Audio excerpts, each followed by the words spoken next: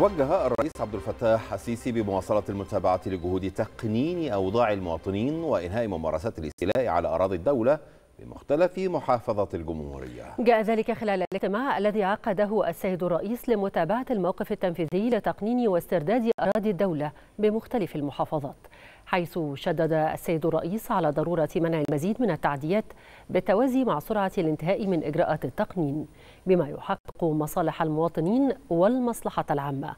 أوضح المتحدث الرسمي باسم رئاسة الجمهورية أن الاجتماع تناول حالات التصالح حيث تم استعراض نتائج الجهود الجارية للحفاظ على حقوق الدولة والشعب وحماية الأراضي الزراعية.